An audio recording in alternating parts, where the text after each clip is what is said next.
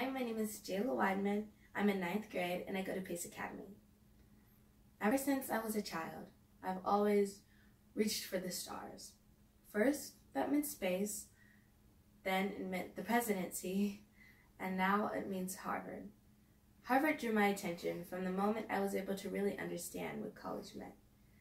My mind shifted all of a sudden from stars and unicorns to college, and Harvard was my target. I researched it until I couldn't anymore, and I went into middle school with it as my goal. Now, my dreams haven't changed. I hope that the Harvard Debate Council can help me get closer to my goal. I love public speaking, and I've done it too many times to count. I also love to read and write and research, and I think that these will be helpful in my debating conquest. I am so excited for the potential opportunity make lifelong friends and learn more about debate, and I hope that you'll consider me for the Harvard Debate Council.